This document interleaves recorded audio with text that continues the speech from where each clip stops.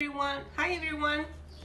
You should have this package already at home. We are going to create a monarch butterfly. First, you're gonna use your green paper. You're gonna need glue and a black crayon.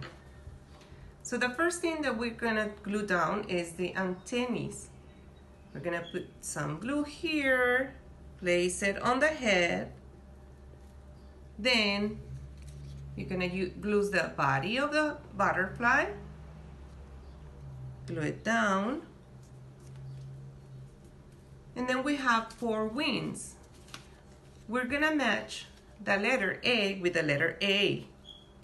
We're gonna put the glue on, look for the letter A, glue it down, and then it's gonna be letter B. We're gonna match the letter. Put it on the paper. Letter C.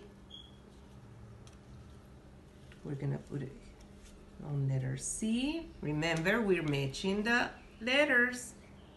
And the last one, letter D with letter D. And you should have your butterfly.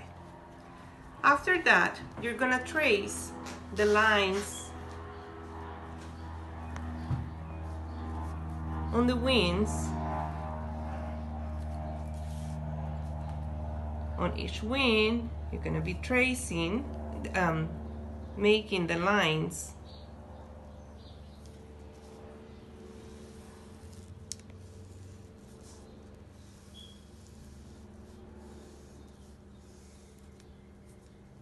just a couple of lines. So you can notice that is the monarch butterfly.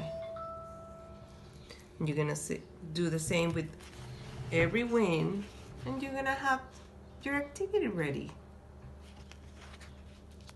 Okay.